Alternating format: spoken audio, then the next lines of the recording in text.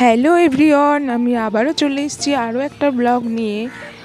আজ সকালে ঘুম থেকে উঠে দেখি বৃষ্টি ভালোই পড়ছে। আমি জানলার সামনে দাঁড়িয়ে মানে এত ভালো লাগছে দাঁড়িয়ে রয়েছি অনেকক্ষণ ধরে।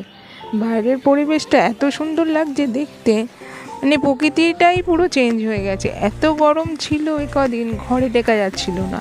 আর দুদিন ধরে বৃষ্টি হওয়ার কারণে ঘরের ভেতরটাও পুরো মানে ঠান্ডা হয়ে গেছে। পরিবেশটা পুরো ঠান্ডা করে দিয়েছে দুদিনের বৃষ্টিতে। আমি সকাল সকাল উঠে স্নান টান করে নিয়ে, তার আগে মাম্মামকে খাইয়ে দাইয়ে নিয়ে, তারপরে স্নান টান করে আমি আজ সোমবার দিনটা আমি আর আমার ননদ মিলে, দুজনা মিলে বাবার পুজো করি। প্রত্যেক সপ্তাহে সোমবার দিনটায় আমি একই রকমভাবে বাবার পুজো করি।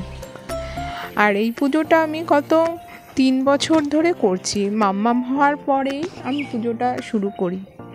আমার মা আমাকে বলেছে যে প্রত্যেক সপ্তাহে পুজোটা কর, দেখবি শরীরও ভালো থাকবে আর সব কিছুই ভালো থাকবে। তাই জন্য আমি স্টার্ট করে দিয়েছিলাম পুজোটা। আর সকালে তো অনেক রকমই কাজ থাকে, সব মানে সম্ভব হয় না করা। তাই আগে বাবার পুজোটা করে নিয়েই আমি সমস্ত কাজগুলো করি, মাম্মামকে স্নান করানো, খাওয়ানো, সব শুরু করি। ননদ এখনও আসেনি, তাই জন্য আমি তাড়াতাড়ি করে, আর বাইরে বৃষ্টি পড়ছিল তো, তাই জন্য ওর একটু আসতে দেরি হচ্ছিল। আমি স্নান টান করে তাই জন্য তাড়াতাড়ি করে পুজোয় বসে পড়েছি, কারণ হচ্ছে আরও অনেক কাজ আছে তো, সেইগুলোও কমপ্লিট করতে হবে। তারপর বন্ধুরা তোমরা দেখতেই পাচ্ছ আমি ঘরে কোন কোন দেবতা বসিয়েছি। রাধাকৃষ্ণ, আমার আরাধ্য মহাদেব আর গুরুদেবের একটা ছোট্ট ছবি আছে, বড়ও একটা আছে, আর তারা মায়ের একটা ছোট্ট ছবি আর একটা জগন্নাথের ছবি।